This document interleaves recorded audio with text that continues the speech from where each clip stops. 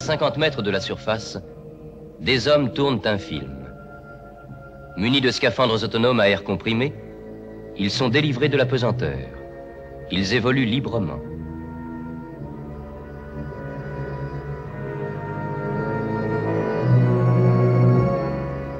Pour faire ce film, ils ont promené leur caméra à travers Méditerranée, mer Rouge, océan Indien, golfe Persique, à la découverte d'un monde étrange, presque inconnu, le monde du silence.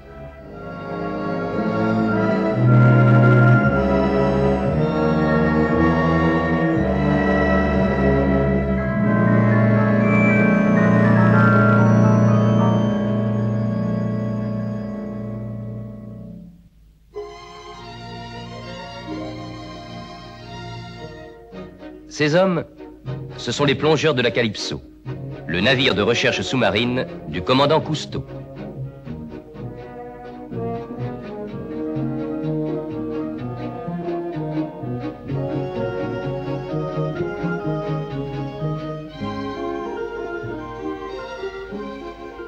Une plongée de plus.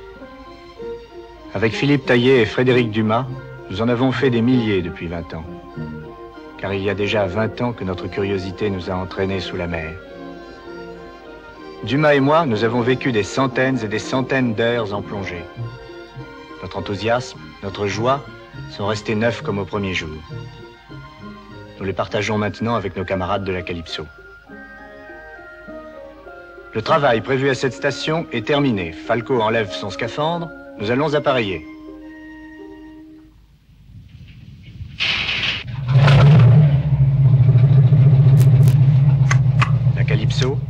Avec ses douze plongeurs, son équipage, son matériel, est un outil nouveau au service de la recherche marine. À chaque mission, nous embarquons des savants et des spécialistes de l'université, du muséum, des laboratoires. Nous mettons en commun nos efforts et nos techniques pour explorer les profondeurs de la mer.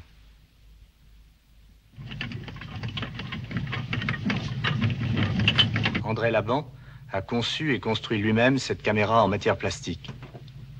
Il décharge le film exposé au cours de la dernière plongée. François Saout, mon second depuis dix ans, met en route le pilote automatique.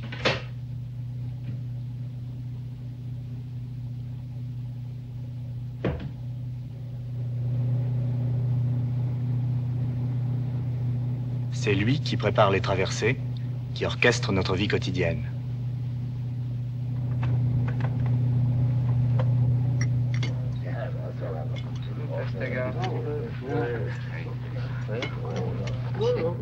L'exploration sous-marine connaît aujourd'hui son âge d'or. Des milliers d'hommes ont adopté nos méthodes et plongent à la poursuite d'un rêve vieux comme le monde. Cette gravure de 1784 illustre l'invention de l'ingénieur Fréminet, la machine hydrostatergatique.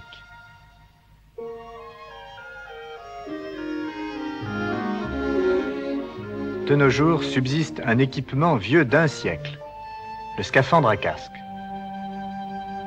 Nos amis des profondeurs, les pêcheurs d'éponges, s'en servent quotidiennement. La plupart sont grecs. Nous rencontrons l'une de ces balancelles qui ratissent la Méditerranée, de Gibraltar à la Corne d'Or. Cette fois, nous ferons les présentations sous l'eau. Un ordre à donner, un bahut à déplacer, une trappe à soulever dans le plancher de la cuisine, et voilà ouvert notre puits de plongée. Il traverse la coque en son milieu.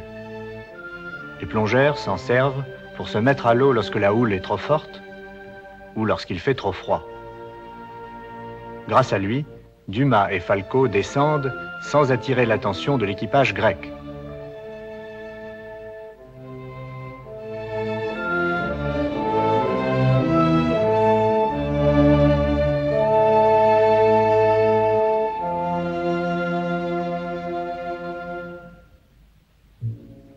Scaphandrier, cloué au sol par ses semelles de plomb, progresse lourdement à la recherche des éponges. Son précieux tuyau d'air et une corde de sécurité l'enchaînent à sa barque.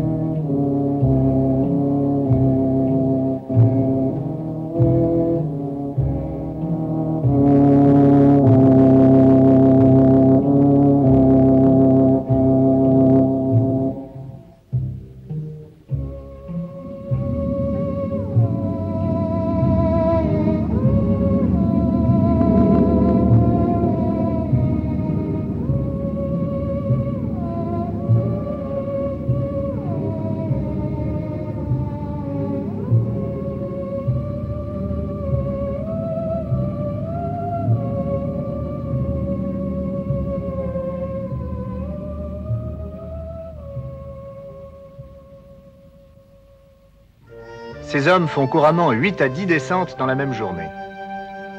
Beaucoup d'entre eux meurent chaque année. Presque tous sont marqués dans leur chair par ce métier terrible. Voici la raison. Un homme qui descend sous la mer, pour n'être pas écrasé, doit respirer de l'air à la même pression que l'eau qui l'entoure. À 10 mètres, c'est deux fois la pression atmosphérique. À 20 mètres, trois fois, et ainsi de suite. Plus le scaphandrier descend, plus l'azote de l'air se dissout dans le sang, puis dans les tissus. Tant qu'il reste sous pression, rien ne peut arriver. Mais à la remontée, l'azote dissous se dégage comme la mousse du champagne. Il forme des bulles qui bloquent les articulations et dans les cas les plus graves, bouche les artères, ce qui provoque la mort par embolie.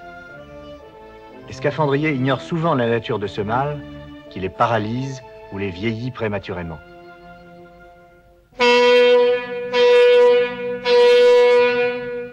Nous sommes soumis au même danger qu'eux, mais nous sommes mieux armés pour les combattre. Préparez une question de recompression. Eh bien, là-bas, qu'est-ce qu'il y a? J'ai une légère douleur à l'articulation du genou. Ah, avec qui étiez-vous descendu? Avec Bébert Qu'est-ce qui est arrivé, Bébert? Voilà les coupables. Tiens, porte-les à la cuisine. J'étais parti rejoindre la banque qui chassait la langouste.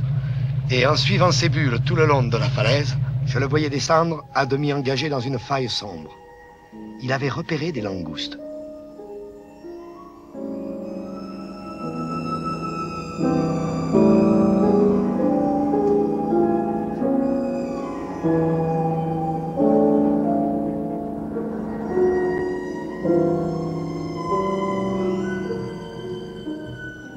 Avions dépassé les 50 mètres et cette maudite faille descendait toujours. Nous approchions de la profondeur où l'air a un drôle de goût, où l'ivresse devient dangereuse.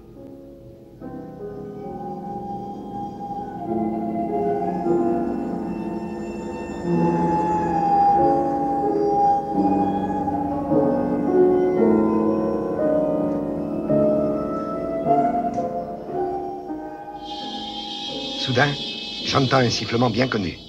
Laban, à court d'air, a dû ouvrir sa réserve.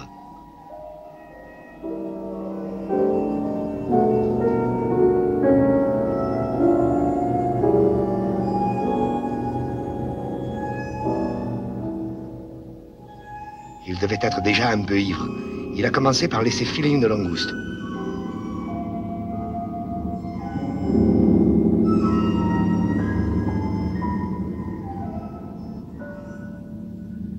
Jusque-là, ce n'était pas grave.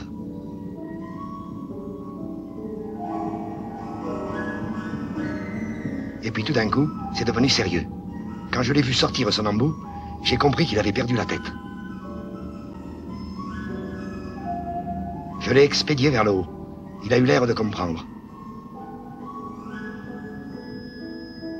Au lieu de l'accompagner comme j'aurais dû, je lui ai seulement fait signe de s'arrêter à son palier de décompression.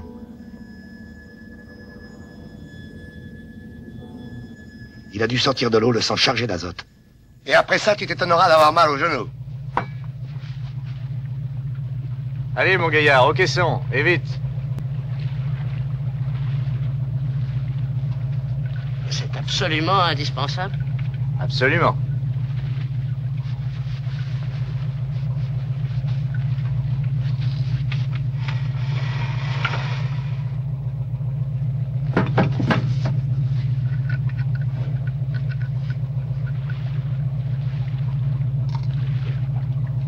Passez-moi vos tables.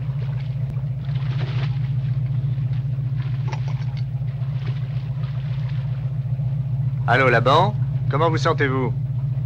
Je n'ai plus mal du tout. C'est bien pour ça qu'on vous a recomprimé. J'en ai pour combien de temps dans ce cercueil?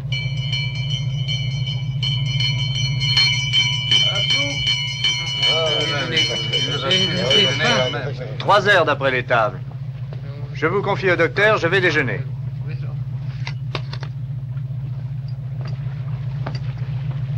Vous déjeunerez là, docteur. Hé Hé, mes langoustes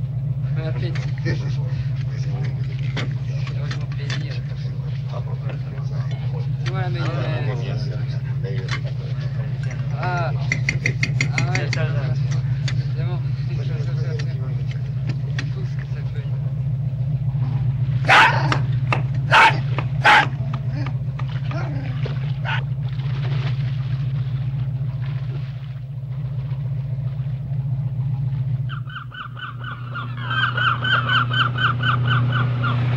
Nous approchons des tropiques. Quelques dauphins jouent devant notre étrave. Les dauphins ne sont pas des poissons, mais des mammifères assez proches du chien. Ils sont doués d'intelligence et d'humour. Ils rattrapent sans effort les navires les plus rapides.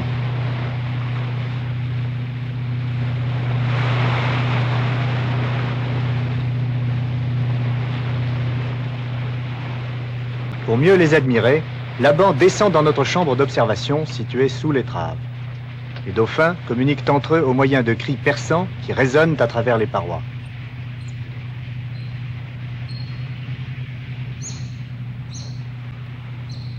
C'est jour de fête chez les dauphins.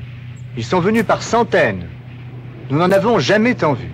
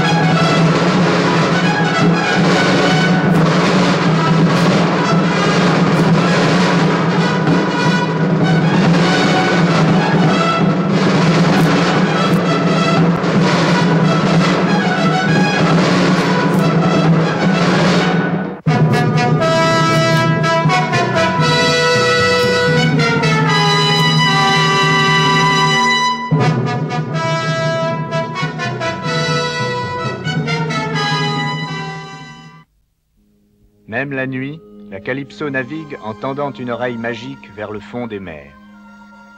Notre sondeur puissant émet des ondes sonores dont l'écho est renvoyé par le fond. Les cris cadencés de la Calypso sont plus aigus encore que ceux des dauphins. Sur le graphique du sondeur, le trait supérieur représente la surface, tandis que la courbe tracée par le style reproduit le relief du fond. Si l'on augmente beaucoup la puissance du signal, des échos réguliers sont enregistrés en pleine eau, vers 400 mètres de fond, renvoyés par une ou plusieurs couches d'origine mystérieuse. L'existence de ces couches pose des problèmes aux savants du monde entier. Pour contribuer à résoudre ces problèmes, le professeur Edgerton a construit pour nous des caméras automatiques capables de descendre à 2000 mètres. Elles contiennent 30 mètres de pellicule cinématographique. En 3 heures d'immersion, à raison d'un flash électronique toutes les 15 secondes, l'appareil prend 800 photos. Nous en avons déjà pris plus de 25 000 sous sept mers et deux océans. Ces couches inexpliquées existent dans toutes les mers. Leur profondeur moyenne est précisément celle où vont les baleines pour se nourrir. Sur le graphique, On suit parfaitement la descente de la caméra, elle disparaît dans la couche. Nous stoppons le treuil. 300 mètres sous nos pieds, les éclairs périodiques embrasent la nuit des profondeurs. Nous développons les clichés à bord et les agrandissons aussitôt. La plupart évoquent un ciel d'étoiles. D'autres montrent des méduses ou des groupes d'organismes aux formes étranges, mais jusqu'ici la couche diffusante a gardé son secret. Les techniques les plus classiques sont aussi utilisées sur la Calypso. Par exemple, la bouteille Nansen, ouverte aux deux bouts, portant des thermomètres à renversement. À la profondeur voulue, un messager retourne et ferme la bouteille. Mais aucun instrument ne remplace l'homme. Les plongeurs deviennent indispensables pour dresser un vaste inventaire de la mer.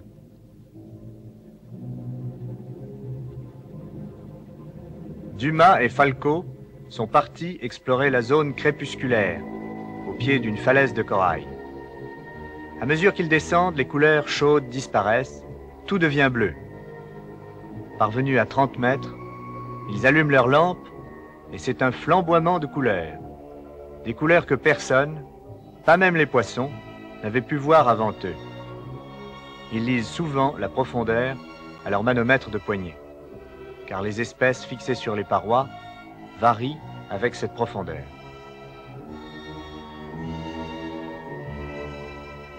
Plus ils s'enfoncent, plus les bruns deviennent chauds, plus les rouges sont violents.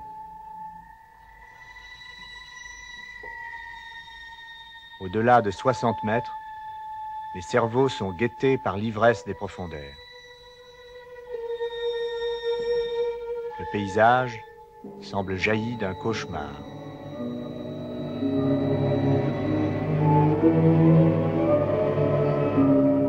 Il continue pourtant et atteignent 75 mètres. Voici les images les plus profondes qui aient jamais été tournées.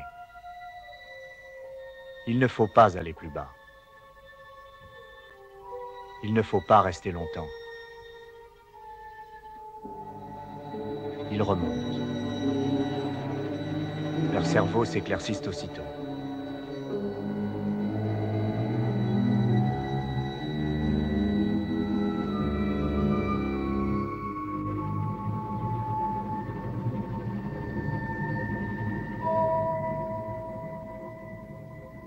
Pour amener un échantillonnage complet du récif, nous devons inévitablement faire quelques dégâts.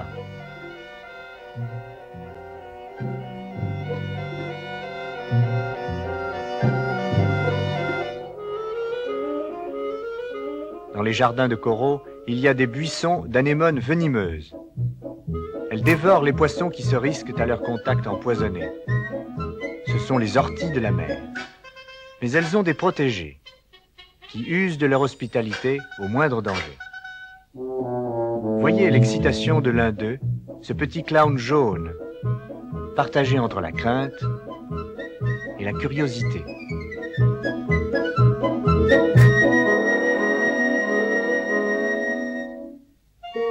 Ce manchon vivant, c'est une holoturie ou bêche de mer.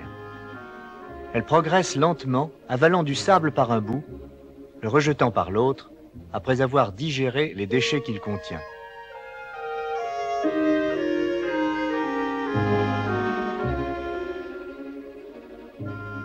Mais sa cavité intestinale sert de refuge à des poissons en forme d'anguille, les firasphères, qui ont le privilège d'entrer et de sortir en échange d'on ne sait quel service.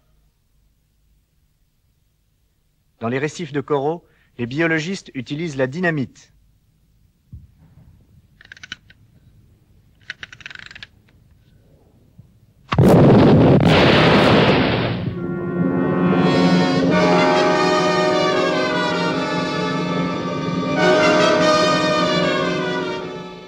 Pêche commerciale à la dynamite est interdite par la loi. C'est un acte de vandalisme. Mais c'est la seule méthode qui permette de faire le recensement de toutes les espèces vivantes. Sur dix poissons tués par l'explosion, à peine un ou deux restent à la surface.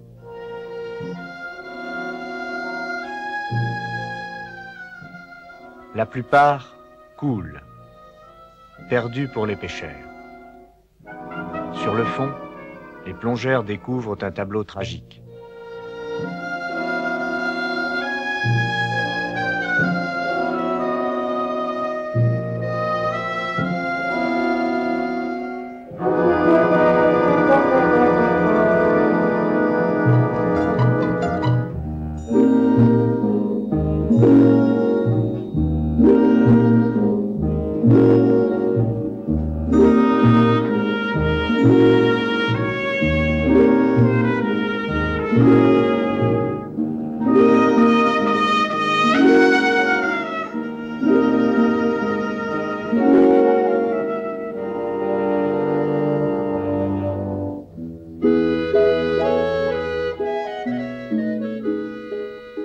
Danger, les diodons se gonflent.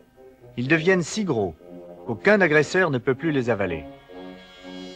Mais leur ruse est impuissante contre la dynamite.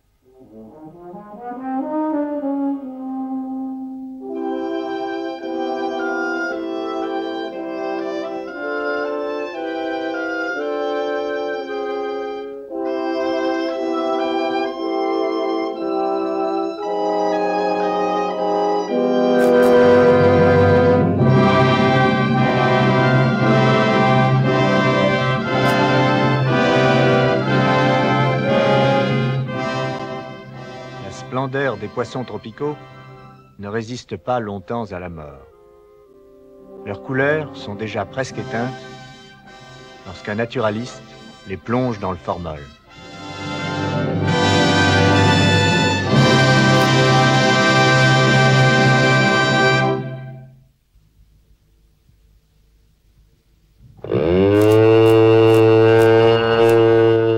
J'ai toujours rêvé de faire sans fatigue explorations à très grande distance. Nous disposons aujourd'hui de scooters électriques que les plongeurs manœuvrent avec tout le corps. Ils ont une heure d'autonomie. Ces scooters nous ont permis d'augmenter considérablement notre rayon d'action.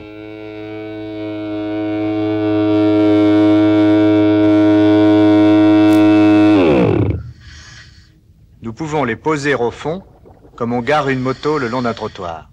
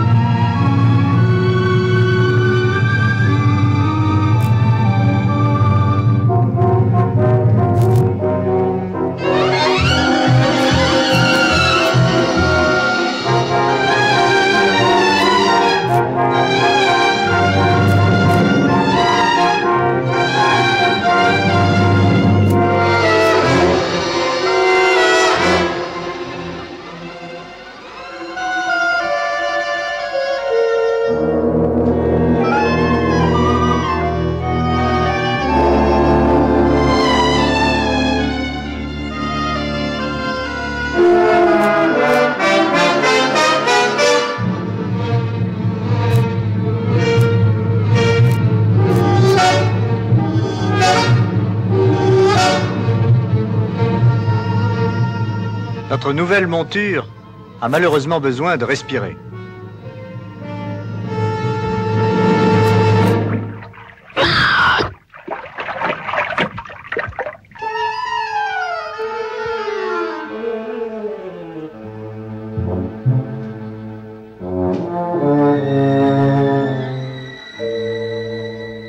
D'habitude, les tortues de mer peuvent rester une heure sans respirer. Mais celle-ci fournit un trop gros effort. N'insistons pas.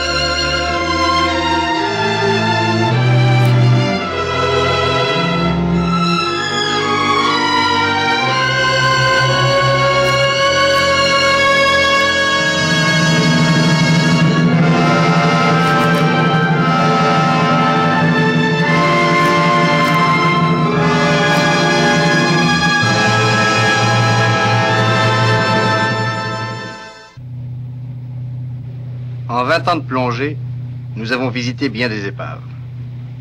Celles qui crèvent encore la surface ont été pillées par les hommes avant d'être détruites par la houle. J'ai plongé sous ces chaudières rouillées, mais il n'y a plus rien. Elles sont complètement démolies. Toutes ces épaves à demi immergées, ça ne vaut rien. Je n'ai jamais vu de bien conservé par moins de 20 mètres de fond. Un cargo anglais coulé en 1942, quelque part dans le chenal, par 30 mètres de fond. Aucun survivant, position mal déterminée. Il faut le trouver. C'est l'histoire de l'aiguille dans une meule de foin. Mais ça vaut la peine. Appelle là-bas chez lui. T'es cher Lancez l'éco-sondeur et le radar. Allô là-bas? Voulez-vous venir à la passerelle? Oh Vous mouillerez le chaland à la pointe du récif. Embarquez un bidon vide qui servira de mire radar. Bien, commandant. On met le chaland blanc à la mer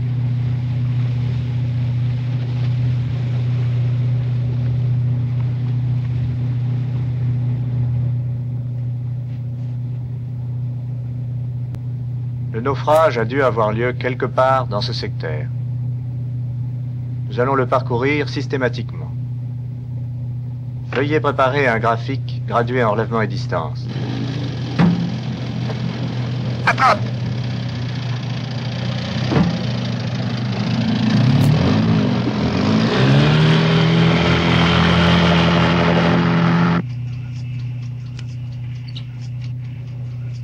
Tu vas pouvoir lire le fond à 10 cm près.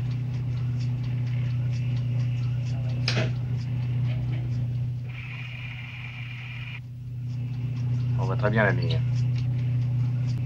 En avant 400 tours, cap au 50. Bien, commandant.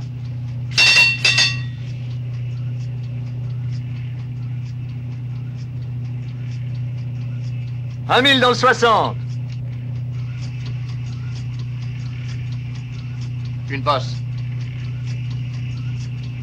Non, ce n'est pas une épave, c'est un banc de poissons. Un mille cinq dans le 217.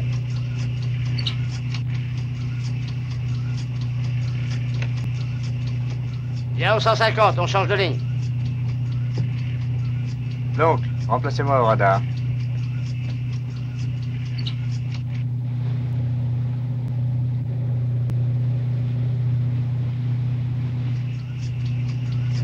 Et si tu descendais dans la fosse étrave Oui, si tu veux.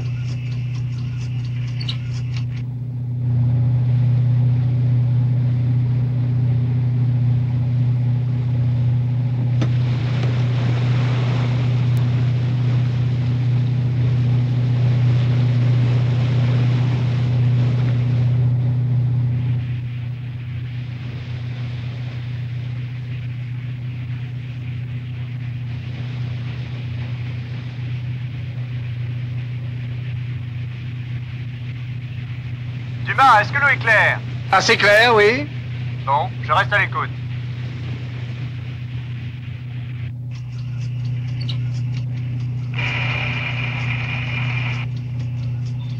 Un mille vingt-cinq dans le 208.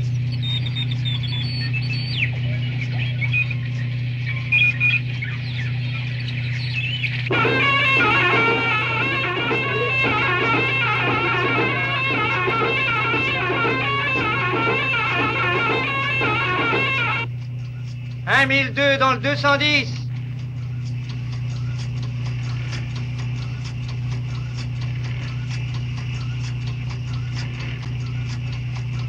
Position 1032 dans le 211. C'est elle. Dumas, tu n'as rien vu? Non, rien de net. Mais l'eau a changé de couleur. Faites demi-tour à gauche. Tribord en avant lente. Attention, Dumas. Ouvre l'œil. Allô, plage arrière. Parez pour la bouée, Falco et Pig, équipez-vous.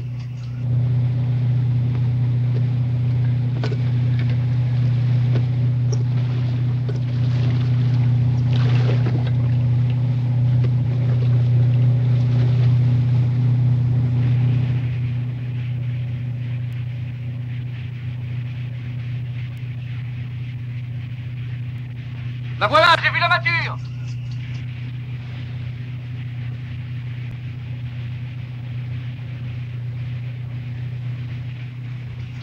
Allô, plage arrière, envoyez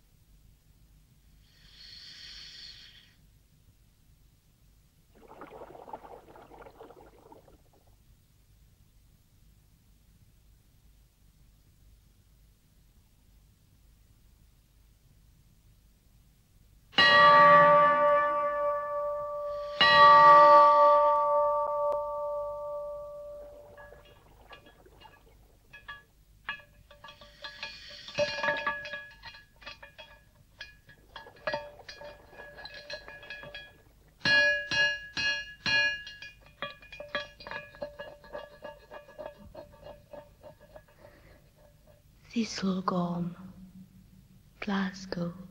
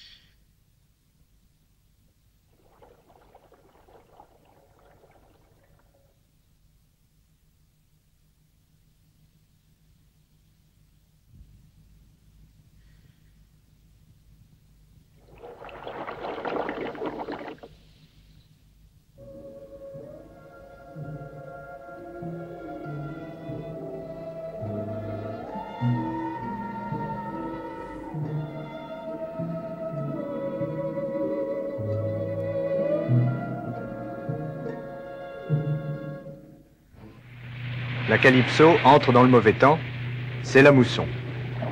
Pendant plusieurs jours, nous allons tanguer, nous allons rouler sans répit.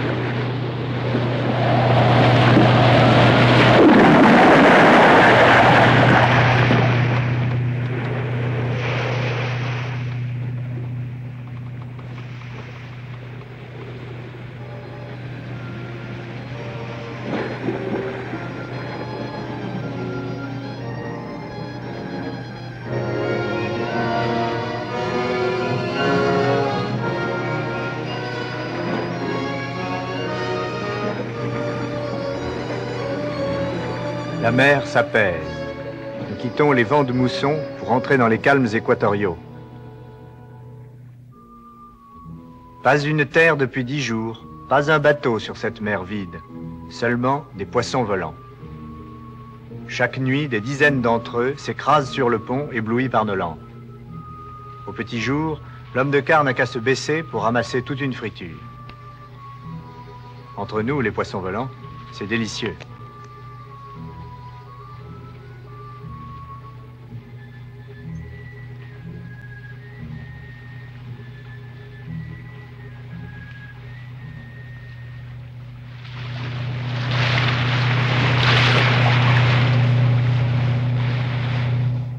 Plus tard dans la journée, les hommes font le quart aux baleines.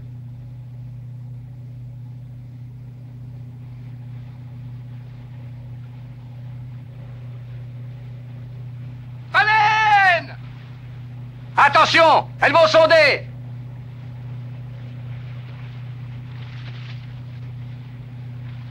En fait de baleine, ce sont des cachalots. À gauche toutes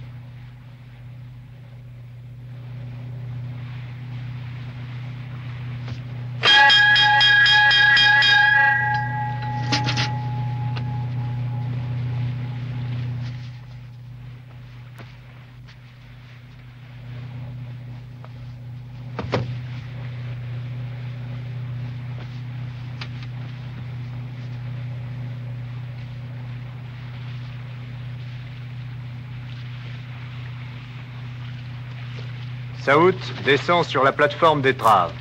En 20 ans de navigation, il n'a jamais eu l'occasion d'approcher les animaux de cette taille. Ils ne sont vraiment pas farouches. Chez les Saouts, on est pêcheur de père en fils.